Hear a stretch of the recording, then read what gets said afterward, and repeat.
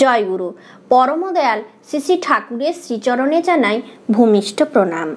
আপনাদের প্রতি প্রত্যেককে জানাই রানন্দিত জয়গুরু। আজ ইষ্ট প্রসঙ্গে খুব গুরুত্বপূর্ণ বিষয় আমরা আলোচনা করে নেব। মন ভালো থাকার আর মনের সঙ্গে স্বাস্থ্যকেও আমাদের জড়িত করতে হবে। যার স্বাস্থ্য ভালো থাকে, তার মনটাও জানবেন ভালোই থাকে। এইভাবে মন এবং স্বাস্থ্য এই উভয়কেই সুস্থ রাখার জন্য পরম দয়াল শ্রী শ্রী ঠাকুরের দেওয়া দশটি টিপস আমরা আলোচনা করব, যেগুলো মাথায় রাখলে আমরা কোনো দিন ভেঙে পড়ব না। আসলে এই অবস্থার সাথে নিজেকে মানিয়ে নিতে হবে যে কোনো পরিস্থিতির সাথে নিজেকে অ্যাডজাস্ট যে করতে পারে, সেই ব্যক্তি কিন্তু লাভবান। আর সেই একমাত্র সুস্থ মনের এবং সুস্থ শরীরের অধিকারী। বেশি দেরি না করে আমি দশটি টিপস নিয়ে আপনাদের বলব। পরমদয়াল শ্রী ঠাকুর এই এক জায়গায় কিন্তু দশটি টিপস দেননি। আলোচনা প্রসঙ্গের বিভিন্ন খণ্ডে দ্বীপরক্ষীর বিভিন্ন খণ্ডে তিনি তার মনের কথা মানে আমাদের সুস্থ থাকার উদ্দেশ্যে যা বলার দরকার, যা করার দরকার তিনি বলে গেছেন। আমি তা একসাথে দশটি পয়েন্টে সাজিয়ে নিয়েছি আর আপনাদের একে একে বলব আর আলোচনা করব। তাই ধৈর্য সহকারে আপনারা আলোচনা শুনবেন, নিজেদের মধ্যে নিজেরা শেয়ার করে নেবেন। এক, ভালো আলোচনা। ভালো আলোচনা আমাদের ঘরে, পরিবারের সকলের মধ্যে কিন্তু করতেই হবে। আমরা অনেক সময় নিজেদের ভাব, নিজেদের দোষে নষ্ট করে ফেলি। আমাদের সেই সংস্পর্শে যাওয়া চলবে না, যে সংস্পর্শে গেলে আমাদের মনে মানে মনের ভাবটা নষ্ট হয়ে যেতে পারে, সেই ঠাকুরত্বটা নষ্ট হয়ে যেতে পারে। তাই ভালো আলোচনা আমাদের সব সময় করতে হবে। তাই নিজেদের মধ্যে চেষ্টা করবেন যাতে আলোচনাটা ভালো হয়। যাতে আমি যার সাথে কথা বলছি কিংবা আমি যাকে কিছু বলছি, যেন উৎসাহ পায়।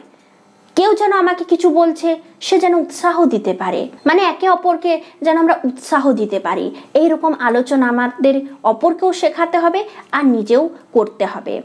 দুই পজিটিভ ভাবনা। অনেক সময় নেগেটিভ ভাবনা আমাদের মনকে নষ্ট করে দেয়। কোনো কাজ করতে গিয়ে হয়তো ব্যর্থ হলাম। সেই কাজ আর করলাম না। মনে বিরক্তি এলো। না, এরকম করলে হয় না। আমি প্রথমেই বললাম যে সময়ের সাথে অ্যাডজাস্ট করতে হয়। দেখুন, যদি কোনো কাজে আমরা ব্যর্থ হই, তাহলে আমাদের উচিত কোনোভাবে মন খারাপ না করে সেই কেন ব্যর্থ হয়েছি, কি কারণ, এই সমস্ত কিছু সন্ধান করে, সেখান থেকে অভিজ্ঞতা সঞ্চয় করে সামনের দিকে এগোনো। এবং পজিটিভ ভাবনা কিছু ভাবা। নেগেটিভ ভাবনাকে সম্পূর্ণভাবে ত্যাগ করে দেয়া। এতে মন খুব ভালো থাকে, স্বাস্থ্যও উন্নত হয়। তিন, পরিবেশের উন্নতির জন্য কিছু পরিকল্পনা করা। শ্রী শ্রী ঠাকুর সমস্ত কাজের মধ্যে ইষ্ট কাজটাকে আগে করতে বলেছেন। সব কিছুর মধ্যেই যেন আমার উদ্দেশ্যটা হয় ইষ্ট। তাই পরিবেশ কিন্তু আমার থেকে আলাদা নয়। আমি যদি ভাবি আমার নিজস্ব উন্নতিটাই সব, তাহলে কিন্তু আমি আগে ঠকবো। তাই পরিবেশের জন্য আমি জীবনে বেঁচে আছি আর এই অবস্থায় আমাকে কিছু করতেই হবে। এরকম একটা পরিকল্পনা আমাদের করা দরকার। এতে করে সত্যি সত্যি আমাদের মন খুব ভালো হয়। আমি এটা করে দেখেছি, আপনারাও করেন। চার, সময়ের গুরুত্ব দেওয়া। পরমদাল শিশি ঠাকুর বললেন যে, সময়ের গুরুত্ব দেবে। যে সময়ে যে কাজ সেটা যদি না করো আমার ভালো লাগে না। মানে শিশি ঠাকুর বললেন। শিশি ঠাকুর আবার এটাও বললেন যে সময়ে কাজ করে না, সে অসুস্থ হয়ে পড়ে। মানে যেটা করার দরকার, সেটা না করলে অসুস্থ হয়ে যায়। তাই শিশি ঠাকুরের এটা অপছন্দের কাজ, সময়কে গুরুত্ব না দেওয়া। তাই সুস্বাস্থ্য ও মনের অধিকারী হতে চাইলে সময়ের গুরুত্ব দেওয়া আগে লাগে। পাঁচ সচেতন থাকা। শ্রী ঠাকুরের দেওয়া বাণী আছে যে, সচেতন থাকা ভগবানের আশীর্বাদ। তাই আমাদের চোখ, কান, নাক সবসময় খোলা রেখেই কাজ করতে হয়। সচেতন থাকলে কেউ আমাদের কোনোভাবে ঠকাতে পারে না। আমরা জীবনে সব সময় সাফল্য পেতে থাকি। কোনোভাবে আমাদের দ্বারাই ভুল হলে আমরা নিজেরাই কষ্ট পাই। যে ব্যক্তি সচেতন, সে কোনোদিন ভুল করে না। তাই ভুল কাজ সংশোধন করার একমাত্র উপায় হলো সচেতন থাকা। তাই সচেতন থাকা লাগে। ছয়, নিজেকে কর্মব্যস্ত রাখা। আমরা যখন আলস্যভাবে বসে থাকি, তখন আমাদের শরীর খারাপ হয়ে যায়। তাই চেষ্টা করতে হবে যে কোনো কাজে নিজেকে ব্যস্ত রাখব। নিজেকে কর্মব্যস্ত রাখার চেষ্টা করতে হবে।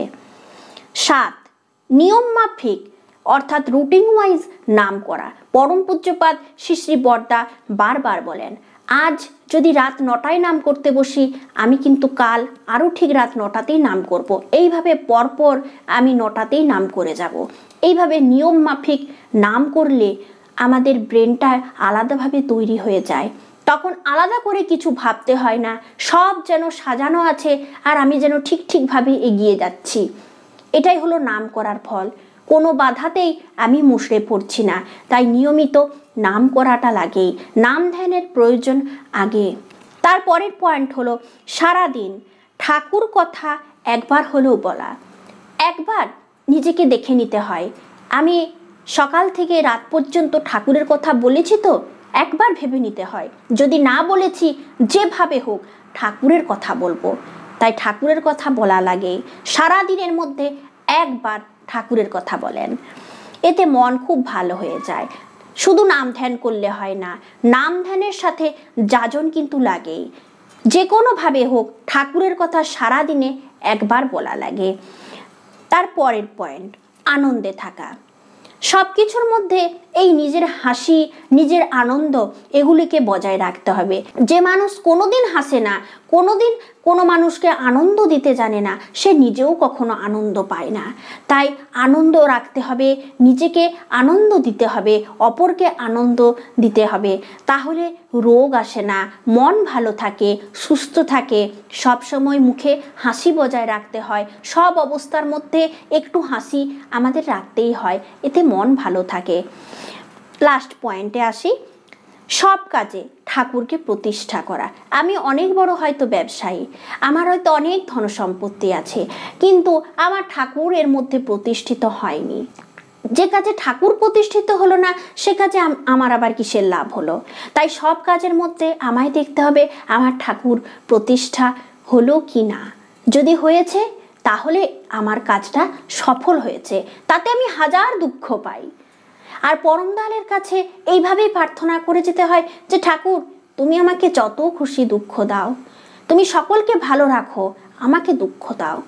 আর সকলের মঙ্গল করো, তোমার ইচ্ছা আমার মধ্যে পূরণ করো। আর যেভাবেই যাই করো না, আমি তোমার চরণ ছাড়ছি না। এইভাবে ঠাকুরকে নিয়ে সামনের দিকে এগোতে থাকুন। মন পুরপুরে থাকবে, সুস্বাস্থ্যের অধিকারী হতে পারবেন। অপরকেও ভালো রাখতে পারবেন, নিজেও ভালো থাকতে পারবেন। শ্রী শ্রী ঠাকুরের দেওয়া এই দশটি টিপস আপনারা অপরকে অবশ্যই শেয়ার করবেন। অপরের উন্নতির সাধন যাতে হয়, তার চেষ্টা করবেন। আজকের ইষ্ট প্রসঙ্গ এখানেই শেষ করছি। জয় গুরু।